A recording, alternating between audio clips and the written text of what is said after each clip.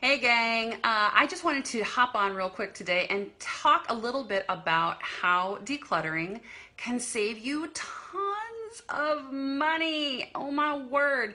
I have found that clutter and money go hand in hand. They tend to, if if we have too much stuff, we often don't have a good handle on our money situation.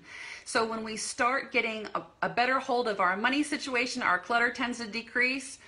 And the opposite is true. The more we declutter, the more mindful we become about our spending, then the, the, clutter starts to go down. So they, they both have this really cool effect on one another. So there are four ways that you can easily, and I mean it, easily start saving money today by dealing with your clutter. The first thing is to reduce your shopping.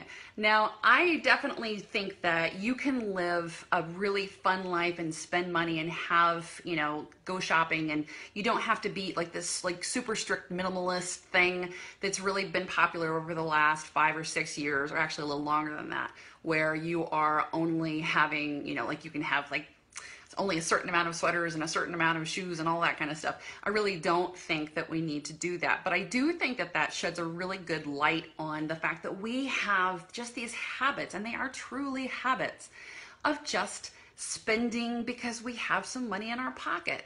So I was talking to my friend Jen Terrell about this recently, and she has this great idea about junk spending, and she calls junk spending anything that is. Um, not fulfilling. You know what I'm talking about. Like the kind of, of spending that after you do it, you kind of go like, oh, I probably shouldn't have spent that money. Or every time you go and you look at that object that you bought, maybe it was a purse, maybe it was a pair of jeans, maybe it was something for your kids or a new piece of furniture for your house. But there's something about that that you're like, yeah, that was not such a great decision. And then we hang on to that because then we have this sort of like, well, I bought it and I'm now going to sort of use it to punish myself. I mean, it's not like that conscious, but we do sort of like feel like we're resigned to keeping that thing because we we spent good money on it, right? And so that and then we it, can get really our uh, space can start feeling really stuck because we're then surrounded with things that have negative um, connotations and ties to them.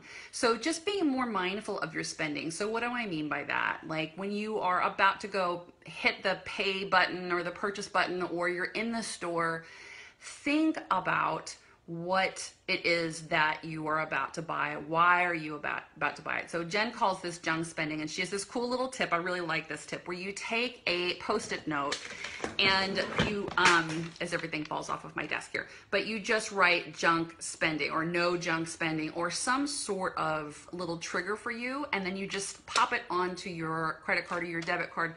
So every time you pull it out of your wallet, it gives you that little like, mm, yeah, okay, maybe I don't need all of these leggings. or maybe I really just came into Target to buy toilet paper and how on earth do I now have probably $150 worth of stuff in here? And maybe it's because I've been having kind of a crappy day and I'm feeling bad and I feel like I need to take care of myself, that I'm treating myself well by buying some fun things that make me feel better. Well, they might make you feel better and I'm all for that. Truly, I am. But you got to start thinking about the long term um, of what's going to happen to this stuff in your house. What is the impact? Do you have a place for this thing? Is it going to replace something else? You know, um, how long is it going to last? This is a really, really important thing we need to be thinking about because we need to be thinking about like, how am I going to get rid of this thing? And how long is this going to end up in a landfill? just because I kind of wanted this thing because it's kind of fun and new. And I really get that that impulse. I feel the same way, but I think we need to just sort of broaden our vision about this a bit and really start thinking about like what are the actual implications if I keep these things. So, cutting down on your shopping is definitely a really big way to start decreasing the amount of clutter. And I will say one last thing on this point. I it doesn't matter where you shop. It doesn't matter if you are shopping at Neiman Marcus, or on Park Avenue, it doesn't matter if you're spending a little tiny amount of money, but you're doing it all the time by shopping at Goodwill. It makes no difference. Okay? people can I, I have found people sort of justify their spending, you know, like or the, the amount of stuff that they have because I'm not a shopper. Well, if you're only shopping, you know, online, if you're only shopping at Goodwill, if you're only shopping at Neiman Marcus, it doesn't really matter. It's still shopping. If you are exchanging money for something else and is coming into your space that is called shopping. By definition, that is shopping. So try not to fall into that trap of it didn't cost that much, um, it was used, any of that sort of thing. It, you're still bringing more physical stuff into your space. And we're trying to reduce that. So you might not be saving as much money as if you were shopping at a high end store and stopping that spending, but you're still spending money and you can still save money by changing those habits. Okay, second of all, you can save a lot of money by paying your bills on time. I know that sounds ridiculously elementary, and I don't mean to be condescending about that, but oftentimes we get into this paperwork overwhelm where we have so much paper coming into our house. Maybe we have a job where we get a ton of bills or a, a, ton of paperwork coming in through the mail. Maybe we have paper bills and electronic bills, and we can't really remember how we're supposed to pay it or when we're supposed to pay it. And, and a lot of the time we have the means to pay our bills, but we're just not paying it because we have too much going on.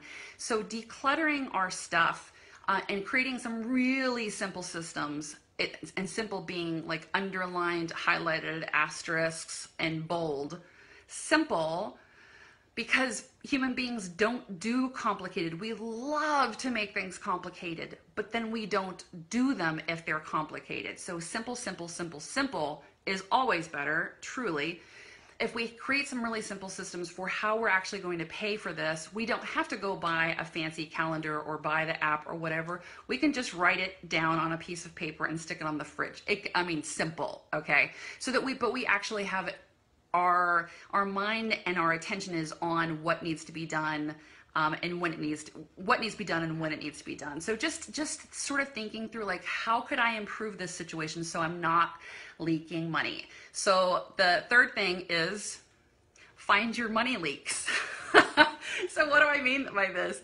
A really good way. I'm not a big believer in budgets per se. Um, I think the best way to sort of curb your spending and look at where your money is going is to look retrospectively at where what your habits have been up until this point. Because until we really have an idea of um, how we're spending it it's really hard to change direction right? Because it's you know we just don't even know. We're like oh yeah i don't i don't spend that much on this but i do spend a lot of money on this. But the numbers may be completely different. And the only way that you're going to really know what those numbers are is to actually look at them. I know that's not my personal favorite thing to do. So I feel you if that's not your favorite thing to do, but it is so empowering. And I'm telling you, the, the tiniest little tweaks that we can make in, you know, in how we're spending can make a, a, just a huge difference in where we're going. What is the trajectory of our life? How much do we have going in savings? How much money do we have going to pay down that debt? On those things that we might have bought that we probably don't even really like or use or even might even still have. So looking for those money leaks um, if you spend an hour on that this week, if you just say on Saturday, I'm going to start looking through um, through my my checking account and to see where I've been spending my money, you can you are in such a place of power to change your behavior and to change how what your habits are when you have that information that will be the best hour you spend this whole month. Promise. Promise, promise, promise. And it and if it's something that you really don't enjoy doing, dovetail it with something that is really awesome. Have a really nice cup of coffee and a little treat, a little something, something fun. Go for a walk with your spouse or do something that you really enjoy at the beginning before you start, and then bookend it with something else that you really enjoy. So, you know, try to make it as pleasant as possible. Put on some nice music. Honest to God, I light candles when I'm pay- paying my bills, when I'm looking at my money stuff, because it just helps me get into a better headspace about it. And it doesn't feel sort of like I'm pulling teeth and I'm having to do something that I would, I'd really rather not be doing. So, some, I'm not a financial whiz, but I do know myself. I know my own behaviors and I know how to get myself to do things that I don't want to do. So, the fourth and final thing about how we, you can save money so easily by decluttering is to start looking in your space for the money. I can't tell you how many times I have found gift cards, un, um, uncashed checks, bills that we just needed to get reimbursed for? You have medical bills that are outstanding that all you have to do is submit them to your um, insurance company and get reimbursed for them? Do you actually physically have money in your house? I bet you do. I, you might have jars of coins. You might have $20 bills in, uh, you know, some birthday cards from a couple years ago.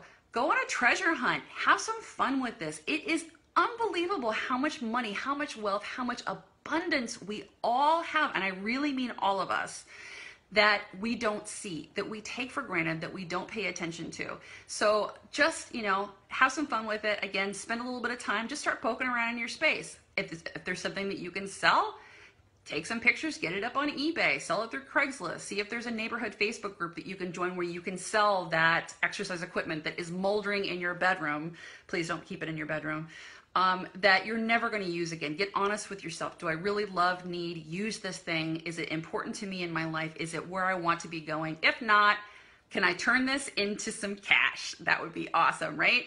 Okay, so I hope that those four things really helped you quickly reduce your shopping, pay your bills on time by creating some sort of simple uh, bill paying system. Um, I really highly recommend mint.com. They have a phenomenally um, awesome, it's free website where you can upload and link all of your accounts. It tracks everything all in one place. It's super easy. Um, third thing is find your money leaks. Where are you spending that money? Putting putting uh, you know your eyes on that and tracking what what is your behavior, and then going on that tr- treasure hunt to see what you have around your house. I hope that helps. Tell me, have you found any money in your space recently? Give me a thumbs up if you have. Put an emoji down there.